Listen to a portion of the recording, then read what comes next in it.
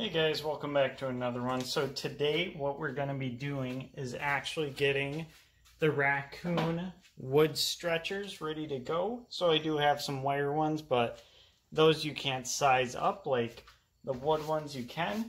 So what we'll actually be doing is marking lines on them for the different sizes. So the sizes that I kind of go off of is uh, for auctions sizes. Most of them are pretty similar, if not the same for all of them. So starting off, they go from 22 inches up to 35 plus inches for raccoons.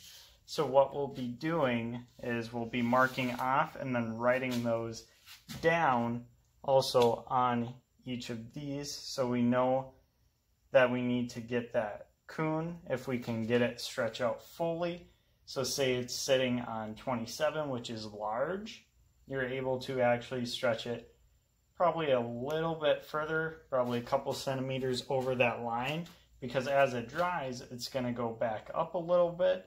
So then you're still at that large rating for when you actually sell.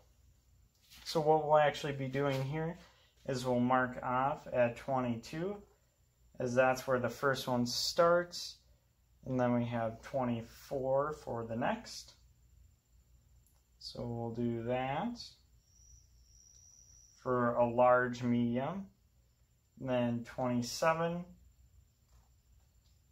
is for a large. Then we'll go to 29, which is an extra large. And then 32, which is the 2X. And then 35 is for 3x. And then anything above that is a 4x coon. And if you get if you get something that big, that's really good. You can't really complain about that. So what we'll go ahead and do because I lost most of my tape measures by now. No matter how many I have, seem to lose. So We'll draw a line across so we have a nice even line to work with. So we'll do that here.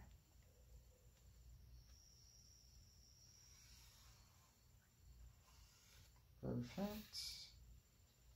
And we'll keep it going.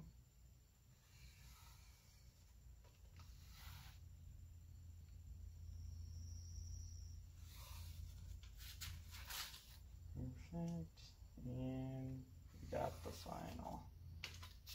Perfect. So as you can see, the board's all done. You can see that it has each of the lines filled out. So now we'll actually just mark it.